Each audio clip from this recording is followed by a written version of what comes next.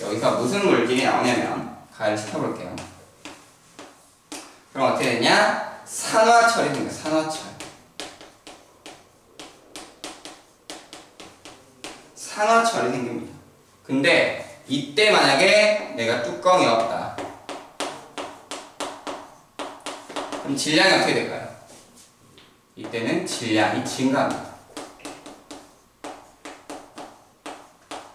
여태까지 다 감소했었잖아요. 왜 그럼 여기는 질량이 증가할까?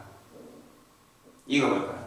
맨 처음에 질량을 우리가 쟀을 때는 어떤 거의 질량을 우리가 잰 거야? 저울 위에 뭘 우리가 올려놓고 질량을 재죠? 그치 강철솜을 올려놓고 질량을 잽니다. 그때 기체인 산소는 질량이 들어 포함돼 포함되지 않아. 포함되지 않는 거지. 근데 여기선 지금 산소랑 결합을 해버렸잖아. 그치? 그러니까 질량이 증가하는데 뭐 때문에? 그러니까 결합한 결합한 산소의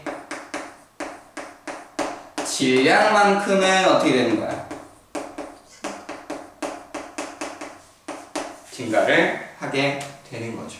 알겠습니까? 그럼 이때 밀폐된 용기 속에서 실험을 하게 됩니다. 즉 뚜껑이 있으면 이때는 산소의 질량 포함 질량 또한 포함되어 있기 때문에 이때는 질량이 어떻게 되더라? 보존이 되더라 라는 거지. 알겠습니까? 이해하겠어요? 이게 뭐다? 화학 변화에서의 질량 보존 법칙이다 라는 거예요.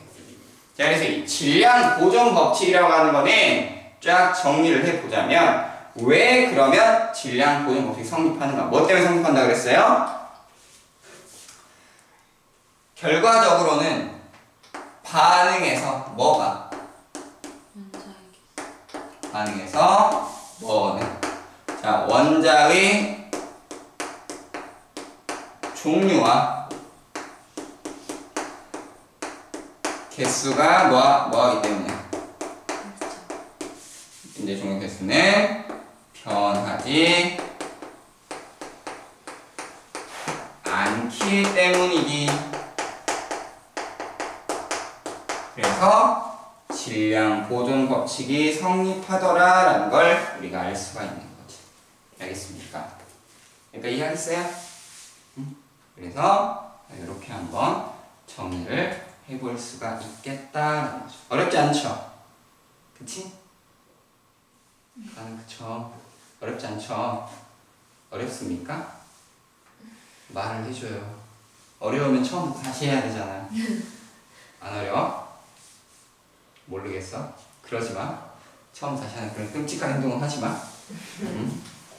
자, 여기까지 정리하고 쉬었다가 이어가도록 할게요.